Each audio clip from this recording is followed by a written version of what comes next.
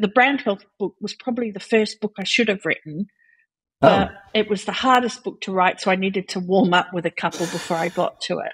Yeah, as you do. So yeah, it was it was it was it, it was much more challenging to write in than even the first book on um, How Brands Grow part two, which your first one's usually the toughest. Yeah. But because this had to deal with because when I've spoken to people, there's been two aspects of the conversation: the bigger picture strategy of what are we trying to achieve, and the recognition that in a lot of cases trackers are just not fit for purpose. They were developed. The roots of them were developed at a time when the heavy loyal buyer is our primary objective